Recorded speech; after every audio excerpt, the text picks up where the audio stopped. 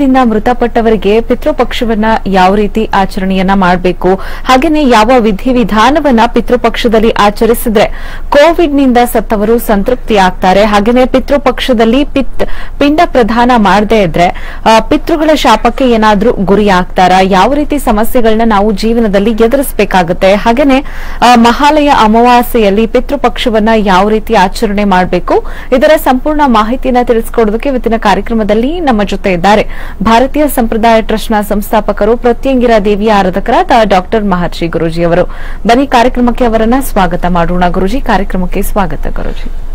ಆಕಾಶಾತ್ ಪತಿತಂ ತೋಯಂ ಯಥಾಗಚ್ಚತಿ ಸಾಗರಂ ಸರ್ವದೇವ ನಮಸ್ಕಾರಂ ಕೇಶವಂ ಪ್ರತಿಗಚ್ಚತೆ ಹರೇ ಶ್ರೀನಿವಾಸ ಎಲ್ಲರಿಗೂ ಸಹ ನಮಸ್ಕಾರಗಳು ಗುರುಜಿ ಕೊರೋನಾದಿಂದ ಸತ್ತವ್ರಿಗೆ ಪಿತೃಪಕ್ಷದಲ್ಲಿ ಯಾವ ರೀತಿ ಪೂಜೆ ಪುನಸ್ಕಾರವನ್ನ ಮಾಡಬೇಕು ಅನ್ನೋದ್ರ ಬಗ್ಗೆ ತಿಳಿಸ್ಕೊಡಿ. ಸಾಮಾನ್ಯವಾಗಿ ಇವತ್ತಿನ ಮಟ್ಟಿಗೆ ನಾವು ನೋಡ್ಲಿಕ್ಕೆ ಹೋದ್ರೆ ಬಹಳ ಜನ ಈ ಕೋವಿಡ್ ಇಂದ ಸತ್ತೋಗಿರುವಂತದ್ ಸತ್ತೋಗಿರುವಂತದ್ದು ನಾವು ನೋಡ್ತಾ ಇದ್ದೀವಿ.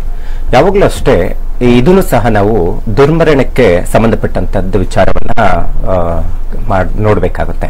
ಯಾವಾಗಲೂ ಅಷ್ಟೇ ನೋಡಿ, ಈ ಕೋವಿಡ್ ಅಂತ ಹೇಳಿದ ತಕ್ಷಣ ಕ್ರಿಮಿ ಕೀಟಗಳಿಂದ ಸತ್ಯ ಹೋಗಿರುವಂತದ್ದು ಯಾಕಂದ್ರೆ ಈ ಕ್ರಿಮಿ ರಾಹು ಪ್ರಭಾವ ಹೆಚ್ಚಾದಾಗ ಈ ಕೋವಿಡ್, ಈ ಕ್ರಿಮಿಗಳಿಂದ, ವೈರಾಣುಗಳಿಂದ ಸಮಸ್ಯೆಗಳು ಆಗಿರುವಂತದ್ದಾಗಿದೆ ಆದ್ರೆ ಶಾಸ್ತ್ರದಲ್ಲಿ ಏನ್ ಹೇಳುತ್ತೆ? ಸಾಮಾನ್ಯವಾಗಿ ಈ ಹಿಂದೆನೋ ನಾನು ಮಾತನಾಡುವಾಗ ಹೇಳ್ತಾ ಇದ್ದೆ. ಈ ಯಾರು ದುರ್ಮರಣ ಹೊಂದಿದ್ರೆ ಅಪಘಾತ ಆಗಬಹುದು ಅಥವಾ ಇನ್ಯಾವುದೋ ರೀತಿಯಲ್ಲಿ ಆಯುಷ್ಯದ್ದು ಹೋಗಿದ್ದಂತ ಸಂದರ್ಭದಲ್ಲಿ ಅಥವಾ ಚಿಕ್ಕ ವಯಸ್ಸಲ್ಲಿ ಸತ್ತೋದಂತವರಿಗೆ ತ್ರಿಪಿಂಡ ಶ್ರಾದ್ದ ಮೋಕ್ಷ ನಾರಾಯಣ ಬಲಿಯನ್ನ ಮಾಡಿಸಲೇಬೇಕು ಅನ್ನುವಂಥದ್ದನ್ನು ತಿಳಿಸ್ಕೊಟ್ಟಿದ್ದೀನಿ. ಆದರೆ ಈ ಕೋವಿಡ್ ಇಂದ ಸತ್ತೋಗಿರುವಂಥವ್ರು ಎಷ್ಟೋ ಜನ ಇದ್ದಾರೆ. ಮನೆಯಲ್ಲಿ ಒಂದಿಬ್ಬರು ಮೂವರು ಮತ್ತೆ ಕೆಲವೊಂದು ಕುಟುಂಬದಲ್ಲಿ ತಂದೆ ತಾಯಿ ಕಳ್ಕೊಂಡಿರುವಂತದ್ದು ನಾವು ನೋಡ್ತಾ ಇದ್ದೀವಿ. ಅಥವಾ ತಾಯಿನ ಕಳ್ಕೊಂಡಿರುವಂತದ್ದು ಅಥವಾ ತಂದೆನ ಕಳ್ಕೊಂಡಿರುವಂತದ್ದು ನಾವು ನೋಡ್ತಾ ಇದ್ದೀವಿ. ಈ ತರ ಬಹಳ ಮನೆಗಳಲ್ಲಿ ಈ ರೀತಿ ಸಮಸ್ಯೆಗಳು ಆಗಿರುವಂತದ್ದು ಈ ಎರಡು ವರ್ಷದಿಂದನೂ ನಾವು ನೋಡಿರುವಂತದ್ದಾಗಿದೆ ಹಾಗಾಗಿ ಪ್ರಥಮ ಹಾಲೆಗೆ ಬಂದಂತಹವರಿಗೆ ಈ ಹಿಂದೆನೂ ಪಿತೃಪಕ್ಷಗಳಲ್ಲಿ ಕೆಲವೊಂದು ಪೂಜೆ ಪುನಸ್ಕಾರಗಳನ್ನ ಸಲ್ಲಿಸಿರ್ತಾರೆ. ಅಥವಾ ಕೆಲವರಿಗೆ ಏನಾಗುತ್ತೆ, ಈ ಕ್ರಿಮಿಯಿಂದ ಸತ್ತೋಗಿರುವಂತವರಿಗೆ ಭಯದಿಂದ ಆ ಸರಿಯಾದಂತ ಕಾರ್ಯಗಳನ್ನ ಮಾಡಿರೋದಿಲ್ಲ. ಅಂದ್ರೆ ಯಾವುದೇ ಒಬ್ಬ ಮನುಷ್ಯ ತೀರೋದಂತ ಸಂದರ್ಭದಲ್ಲಿ ಸಂಸ್ಕಾರಗಳಂತಿರುತ್ತೆ. ಅವರದೇ ಆದಂತಹದ್ದು ಸಂಸ್ಕಾರಗಳನ್ನ ಸರಿಯಾದಂತಹದ್ದು ಮಾಡಲಿಲ್ಲ ಅಂತ ಹೇಳಿದ್ರೆ ಅದು ಪಿತೃದೋಷಕ್ಕೆ ಒಳಗಾಗುವಂತದ್ದು ಸಮಸ್ಯೆಗಳು ಎದುರಾಗುವಂತದ್ದು ಇರುತ್ತೆ ಮತ್ತೆ ಇನ್ನೊಂದು ಶಾಸ್ತ್ರದಲ್ಲಿ ಏನ್ ಹೇಳುತ್ತೆ ಅಂತ ಹೇಳಿದ್ರೆ, ಈ ಕೆಲವೊಂದು ಧನಿಷ್ಠ ಪಂಚಕಗಳು ಅಂತ ಹೇಳ್ತೀವಿ. ಅಂದ್ರೆ, ಈ ಪಂಚಕ ನಕ್ಷತ್ರಗಳಲ್ಲಿ ಯಾರಾದ್ರೂ ಈ ಕೋವಿಡ್ ಇಂದನೂ ಸತ್ತೋಗಿದ್ರೇನು, ಈ ಕುಟುಂಬದಲ್ಲಿ ನೋಡಿ, ಪ್ರ, ಒಂದು ವರ್ಷದಲ್ಲಿ ಒಂದರಿಂದ ಒಂದು ಸಾವನ್ನ ಹಾಕ್ತಾ ಇರುತ್ತೆ. ಯಾವಾಗ್ಲೂ ಅಷ್ಟೇ ಅನಾರೋಗ್ಯ ಆಗ್ಬಹುದು ಅಥವಾ ಇನ್ನೂ ಒಂದು ಸತಿ ಏನಾದ್ರೂ ಈ ಕೊರೋನಾ ಇಂತಹದ್ರಿಂದ ಸಮಸ್ಯೆಗಳು ಉಂಟಾಗುವಂತದ್ದಾಗ್ಬೋದು. ಈ ರೀತಿ ಸಮಸ್ಯೆಗಳು ಎದುರಾಗುವಂತದ್ದು ಕುಟುಂಬದಲ್ಲಿ ಇರುತ್ತೆ. ಅದಕ್ಕೆ ಯಾವಾಗ್ಲೂ ಅಷ್ಟೇ, ಈ ರೀತಿ ಸಾವನ್ನ ಅಪ್ಪಿದ್ರೆ ಅದರದೇ ಆದಂತಹ ವಿಧಾನಗಳಿರುತ್ತೆ ಯಾಕಂತ ಹೇಳಿದ್ರೆ ನಾವು ಯಾವಾಗಲೂ ಅಷ್ಟೇ ಸಮಸ್ಯೆಗಳು ಬಂದಾಗ, ಯಾವುದೇ ಒಂದು ಸಮಸ್ಯೆ ಇದ್ದಾಗ ಅದರದೇ ಆದಂತಹದ್ದು ಪೂಜೆ ಪುರಸ್ಕಾರಗಳು, ಶಾಂತಿ ಕರ್ಮಗಳನ್ನ ಮಾಡ್ತೀವಿ. ಯಾವಾಗಲೂ ಅಷ್ಟೇ ನೋಡಿ, ಈ ಒಂದು ಮನೆಯನ್ನು ಬಿಟ್ಟು ಬಹಳ ವರ್ಷಗಳಾಗ್ಬಿಟ್ಟಿರುತ್ತೆ, ಮನೆ ಬಿಟ್ಟು ಹೋಗ್ಬಿಟ್ಟಿರ್ತಾರೆ.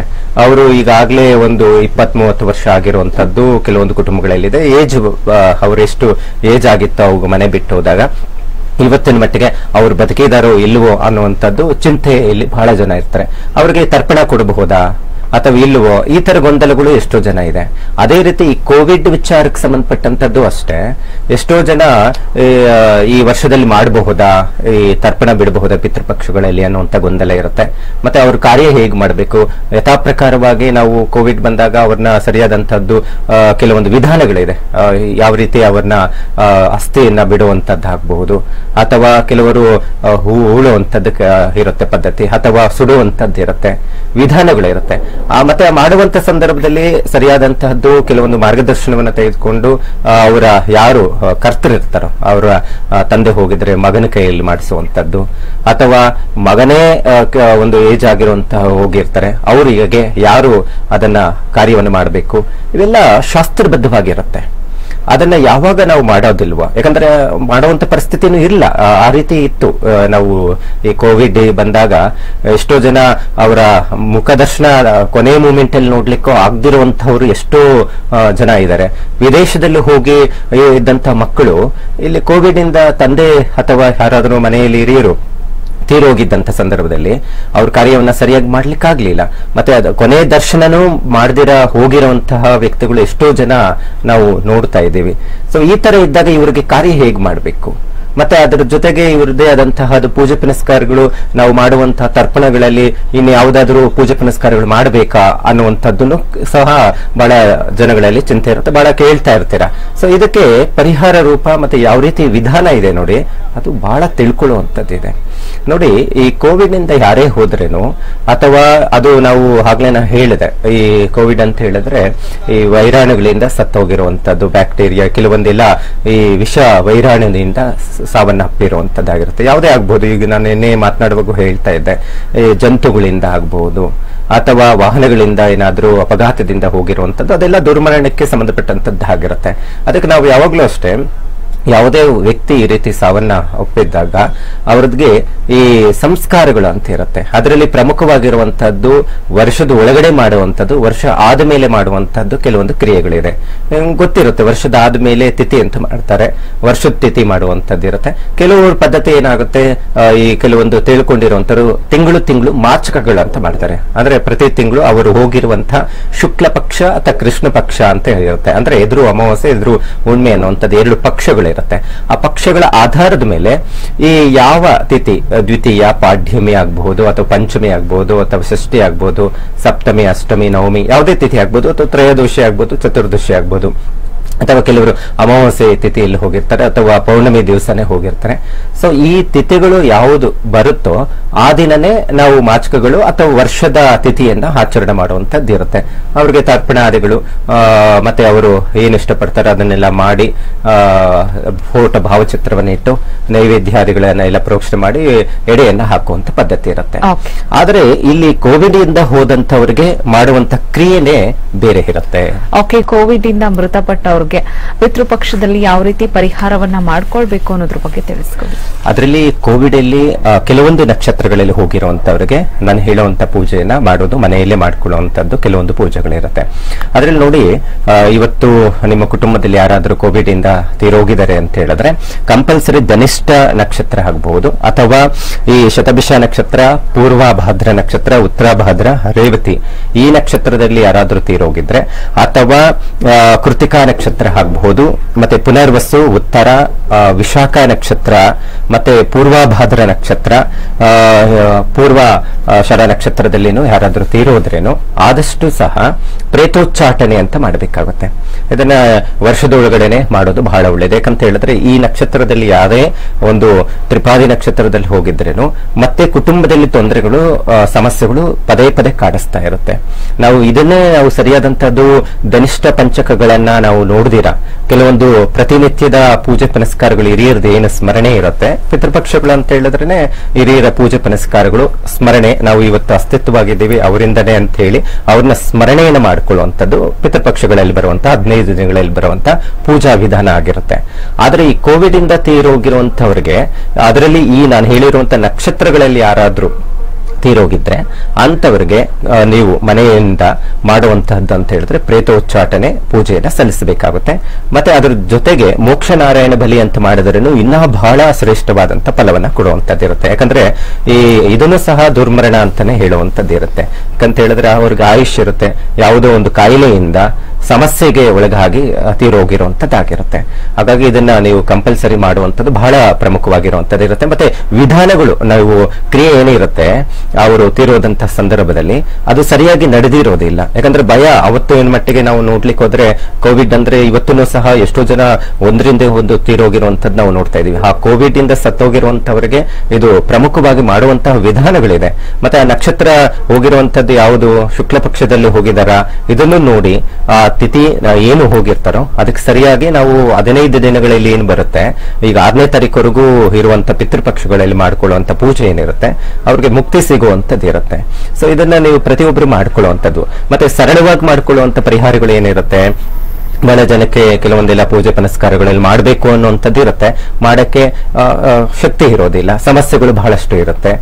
ಈ ತರ ಸಮ, ಸಮಸ್ಯೆಗಳು ಜಾಸ್ತಿ ಇದ್ರೆ ಈ ಹದಿನೈದು ದಿನಗಳಲ್ಲಿ ಕಾಲದವರೆಗೂ ಸಹ ಪ್ರತಿನಿತ್ಯ ಅವರ ಸ್ಮರಣೆ ಮಾಡಿ, ಅವರಿಗೆ ಮುಕ್ತಿ ಸಿಗ್ಲಿ ಅಂತ ಹೇಳಿ ಸಾಧ್ಯವಾದಷ್ಟು ಬಡವರಿಗೆ ಅಥವಾ ಅನಾಥಾಶ್ರಮಗಳಿಗಾಗಬಹುದು ಕೈಲಿ ಆಗುವಂಥದ್ದು, ಎಟುಗುವಂಥದ್ದು, ಏನಾದರೂ ದವಸ ಧಾನ್ಯಗಳು ಅಥವಾ ಹಕ್ಕಿ, ತರಕಾರಿ ಇಂತಹದ್ದನ್ನ ದಾನವನ್ನು ಮಾಡುವಂಥದ್ದು ಬಹಳ ಶ್ರೇಷ್ಠವಾಗಿರುವಂತದ್ದಾಗಿರುತ್ತೆ ಅವರನ್ನ ನೆನೆಸಿ ದಾನವನ್ನ ಕೊಡುವಂಥದ್ದು. ಅದರಲ್ಲಿ ಪ್ರಮುಖವಾಗಿ ಸಿಹಿ ಕುಂಬಳಕಾಯಿ ದಾನ ಕೊಟ್ರೇನು ಬಹಳ ಒಳ್ಳೆಯದು ಮತ್ತೆ ಕನಿಷ್ಠ ಪಕ್ಷ, ಈ ಪಿತೃಪಕ್ಷದಲ್ಲಿ ಕೋವಿಡ್ ಇಂದ ತೀರೋಗಿರುವಂತವರಿಗೆ ಒಂದು ಸ್ಮರಣೆಗೋಸ್ಕರ. ಯಾಕಂದ್ರೆ ಯಾವಾಗ್ಲೂ ಅಷ್ಟೇ ಹಿರಿಯರು ಯಾರಾದ್ರೂ ಅಥವಾ ಅವರಿಗೆ ಪ್ರೀತಿ ಪಾತ್ರರಾದಂತ ಬಹಳ ಹಚ್ಕೊಂಡ್ಬಿಟ್ಟಿರ್ತಾರೆ. ಅವರು ಯಾರಾದ್ರೂ ತೀರೋದಂತ ಸಂದರ್ಭದಲ್ಲಿ ಅವರು ಸುಡುವಂತಹದ್ದು ಕ್ರಿಯೆ ಏನಾದ್ರೂ ಇತ್ತು ಅಂತ ಹೇಳಿದ್ರೆ, ಅಸ್ಥಿ ಅಸ್ಥಿ ಏನಿರುತ್ತೆ, ಅದನ್ನ ಕೆಲವರು ಗಂಗೆಗೆ ಒಂದು ಸ್ವಲ್ಪ ಬಿಡುವಂತದ್ದಿರುತ್ತೆ ಇನ್ನು ಸ್ವಲ್ಪವನ್ನ ಅಸ್ಥಿ ಏನಿರುತ್ತೆ ಅದನ್ನ ಒಂದು ಕೆಲವು ಭೂಮಿಯಲ್ಲಿ ಹಾಕಿ ಒಂದು ಗಿಡವನ್ನ ನೆಡುವಂತದ್ದಿರುತ್ತೆ ಸಾಧ್ಯವಾದಷ್ಟು ಅವರ ಸ್ಮರಣೆಗೋಸ್ಕರ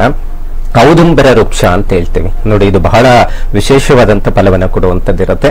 ಔದುಂಬರ ವೃಕ್ಷವನ್ನು ಸಹ ಅವರಿಗೆ ನೆನೆಸಿ ಅವರ ತಿಥಿ ಯಾವ ದಿನ ಹೋಗಿರ್ತಾರೋ, ಒಂದು ಔದುಂಬರ ವೃಕ್ಷವನ್ನ ಇಲ್ಲಾದ್ರೂ ಅದು ಶಾಶ್ವತವಾಗಿರ್ಬೇಕು. ಈಗ ಮನೆ ಪಕ್ಕದೆಲ್ಲ ಹಾಕುವಂತದ್ದು, ಮನೆ ಪಕ್ಕದಲ್ಲಿ ಹೋದ್ರೆ ಇದು ಮನೆಗೆಲ್ಲ ತೊಂದರೆ ಆಗುತ್ತೆ. ಆ ತರ ಮಾಡಬೇಡಿ. ಇಲ್ಲಾದ್ರೂ ಅದನ್ನ ತೆಗಿಬಾರದು. ಆ ರೀತಿ ಒಂದು ವೃಕ್ಷವನ್ನ ಹಿಡುವಂತದ್ದು ಮಾಡಿ. ಯಾಕಂದ್ರೆ ಇವತ್ತಿನ ಮಟ್ಟಿಗೆ ಎಲ್ಲ ವೃಕ್ಷಗಳು ಹೊಡಿತಾ ಇದ್ದಾರೆ. ಗಾಳಿ ವಾತಾವರಣ ಇಲ್ಲ, ಎಲ್ಲ ಸಮಸ್ಯೆಗಳು ನಾವು ನೋಡ್ತಾ ಇದ್ವಿ. ಹಾಗಾಗಿ ಈ ಕೋವಿಡ್ ಇಂದ ತೀರೋಗಿರುವಂತವ್ರಿಗೆ ಒಂದು ವೃಕ್ಷ ಸ್ಥಾಪನೆ ಮಾಡಿ, ಖಂಡಿತ ಅವರ ಒಂದು ಫಲ ನಿಮಗೆ ಕುಟುಂಬಕ್ಕೆ ಒಳ್ಳೇದೇ ಆಗುವಂತದ್ದು ಇರುತ್ತೆ. ಯಾಕಂತ ಹೇಳಿದ್ರೆ ಶಾಸ್ತ್ರದಲ್ಲಿ ಏನಿರುತ್ತೆ, ಮತ್ತೆ ನಾವು ಮಾಡುವಂತ ಇವತ್ತಿನ ಮಟ್ಟಿಗೆ ಮಾಡುವಂತಹ ಕ್ರಿಯೆಗಳು ಏನಿರುತ್ತೆ, ಇವತ್ತಿನ ಮಟ್ಟಿಗೆ ನೋಡಿ ಅದಕ್ಕೆ ಸರಿಯಾದಂತಹದ್ದು ಪರಿಹಾರವನ್ನ ತೆಗೆದುಕೊಳ್ಬೇಕಾಗತ್ತೆ. ಈ ರೀತಿ ನಾವು ಮಾಡಿದಾಗ ಅವರು ತೀರೋಗಿರುವಂತದ್ದು ಏನಿರುತ್ತೆ, ಈ ಕೆಲವೊಂದೆಲ್ಲ ಕ್ರಿಮಿಗಳಿಂದ ಸತ್ತೋಗಿರುವಂತಹದ್ದಾಗಿರೋದ್ರಿಂದ ಅವರಿಗೆ ಮುಂದಿನ ಆ, ನಿಮ್ಮ ಪೀಳಿಗೆಗೇನು ನಿಮ್ಮ ಮಕ್ಕಳು ಮೊಮ್ಮಕ್ಕಳ ವಿಚಾರಕ್ಕೂ ಅವರ ಅಭಿವೃದ್ಧಿ ಆಗುತ್ತೆ. ಇವತ್ತು ನಾನು ಈ ಪಿತೃಪಕ್ಷಗಳ ವಿಚಾರದಲ್ಲಿ ಬಂದಾಗೂ ನಿನ್ನೆ ಮಾತನಾಡುವಾಗ ಹೇಳ್ತಾ ಇದೆ ನೋಡಿ ಪಿತೃದೋಷಗಳು ಅಂತ ಬರುತ್ತಲ್ವಾ?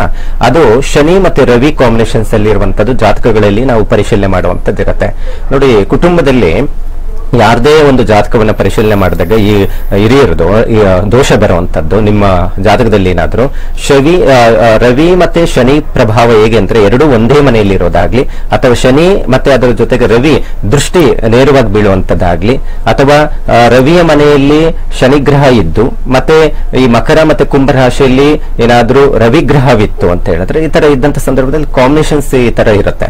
ಸೊ ಅಂತ ಸಂದರ್ಭದಲ್ಲಿ ಏನಾಗುತ್ತೆ ಪಿತೃಗಳದ್ದು ಅನುಗ್ರಹ ಇರಲ್ಲ ಅನ್ನುವಂಥದ್ದು ಜಾತಕಗಳಲ್ಲಿ ನಾವು ನೋಡಬಹುದು. ಸೊ ಅಂತ ಸಂದರ್ಭದಲ್ಲಿ ಅವರಿಗೆ ಇವತ್ತದು ಮಟ್ಟಿಗೆ ಪಿತ್ರಾರ್ಜಿತ ಆಸ್ತಿ ಲಭ್ಯ ಆಗುದಿಲ್ಲ ಇವತ್ತು ಎಷ್ಟೋ ಜನಗಳಿಗೆ ಮೂವತ್ತು ವರ್ಷ ಆಗಿದೆ. ಅವರು ಪಿತ್ರಾರ್ಜ ಪಿತೃಗಳು ಸಂಪಾದನೆ ಮಾಡಿರುವಂತಹದ್ದು ಆಸ್ತಿ ಅಥವಾ ಮನೆ ಯಾವುದೇ ಒಂದು ಸಂಪತ್ತು ಮಕ್ಕಳಿಗೆ ಲಭ್ಯ ಆಗೋದಿಲ್ಲ. ಯಾವಾಗ್ಲೂ ವ್ಯಾಜ್ಯಗಳು ಮತ್ತೆ ಯಾವಾಗ್ಲೂ ಕಿರಿಕಿರಿ. ಅಣ್ಣ ತಮ್ಮಂದಿರು ಅಕ್ಕ ತಂಗಿರು ಚೆನ್ನಾಗಿದ್ರು ಬೇರೆಯವರಿಂದ ಆ ಆಸ್ತಿ ಲಭ್ಯ ಆಗದಿರ ಹೋಗಿರುವಂತದ್ದು ಅಥವಾ ಅಣ್ಣ ತಮ್ಮಂದಿರ ನಡುವೆನೆ ಕಲಹಗಳು ಉಂಟಾಗುವಂಥದ್ದು ಅಥವಾ ಅಣ್ಣ ಅಥವಾ ತಂಗಿ ಅಥವಾ ಅಕ್ಕ ನಡುವೆ ಬಾಂಧವ್ಯತೆ ಇಲ್ದಿರ ಕೋರ್ಟು ಕಚೇರಿ ಸಮಸ್ಯೆಗಳು ಎದುರಾಗ್ತಾ ಇರುವಂತದ್ದು. ಇವೆಲ್ಲವೂ ಈ ರೀತಿ ಆ, ಪಿತೃದೋಷಗಳಿಂದ ಅಂತಹ ಬಂದಂತಹದ್ದಾಗಿರುತ್ತೆ. ಪಿತೃಗಳನ್ನ ನೊಂದು ಶಾಪವನ್ನ ಹಾಕಿದ್ರೆ ಅಂತಹ ಸಂದರ್ಭದಲ್ಲಿನೂ ಈ ಪಿತೃದೋಷಗಳು ಬರುತ್ತೆ. ಮತ್ತೆ ಅದ್ರ ಜೊತೆಗೆ ಈ ತರ ಕ್ರಿಮಿಗಳಿಂದ ಅಥವಾ ಯಾವುದೋ ಒಂದು ದುರ್ಮರಣದಿಂದ ಯಾರಾದರೂ ತೀರೋಗಿದ್ರೇನು ಅದು ಪಿತೃದೋಷ ಮತ್ತೆ ಪ್ರೇತಬಾಧೆ ಎರಡಕ್ಕೂ ಅನ್ವಯ ಆಗುತ್ತೆ. ಇವತ್ತು ನೋಡಿ ಕನಸಲ್ಲಿಗಳಲ್ಲಿ ಬರುವಂತದ್ದು ಇವತ್ತು ಪಿತೃಪಕ್ಷಗಳು ನಡೀತಾ ಇದಾವೆ ಮನೆ ಹತ್ರ ಕಾಗೆಗಳು ಬರೋದು ಜಾಸ್ತಿ, ಕೂಗುವಂಥದ್ದು. ಅದೆಲ್ಲ ಮುನ್ಸೂಚನೆಗಳು ತೋರಿಸ್ತಾ ಇರುತ್ತೆ. ನಾವು ತಿಳ್ಕೊಳ್ಳಲ್ಲ. ಸಮಸ್ಯೆಗಳು ಬಂದಾಗ ಆವಾಗ ಹೋಗ್ತೀವಿ.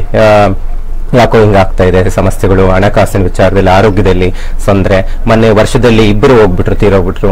ಈ ತರ ಎಲ್ಲ ಸಮಸ್ಯೆಗಳು ಬರೋ ಮುಂಚಿತವಾಗಿ ನಾವು ತಿಳ್ಕೊಂಡು ಪರಿಹಾರವನ್ನ ಮಾಡ್ಕೊಳ್ಳೋದು ಬಹಳ ಒಳ್ಳೇದು. ಈ ಕೋವಿಡ್ ಇಂದ ಹೋಗಿರುವಂತವರಿಗೆ ಯಾವ ನಕ್ಷತ್ರದಲ್ಲಿ ಹೋಗಿದ್ದಾರೆ ಅಂತ ತಿಳ್ಕೊಂಡು ಪರಿಹಾರವನ್ನ ಮಾಡ್ಕೊಂಡ್ರೆ ಖಂಡಿತ ಮುಂದಿನ ದಿನಗಳಲ್ಲಿ ಯಾರಿಗೂ ಒಬ್ರಿಗೂ ತೊಂದರೆ ಇಲ್ದಿರ.